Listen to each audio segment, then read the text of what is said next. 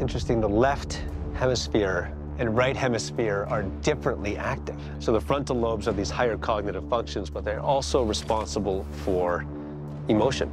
He might be having an emotional connection to what he's, or, or a feeling mm. here that he's then processing.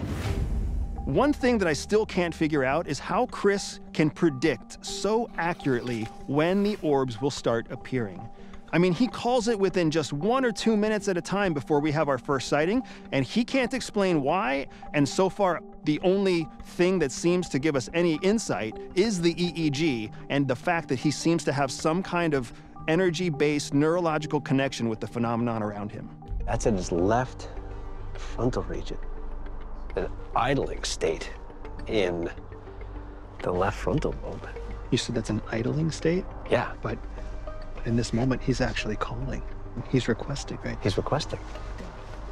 It's almost like he goes into a meditative state That's what to I- request. That's what I'm thinking. He kind of shuts it down. That's interesting. Where normally, if you were to request something, you would see more activity in the communication center of the brain. You've heard of athletes going into the flow state? Right. I would equate it to that.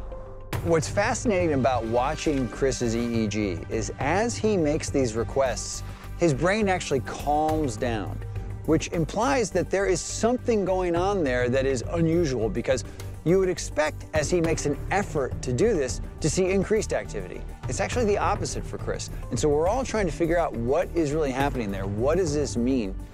The new series Beyond Skinwalker Ranch at 10, only on the History Channel.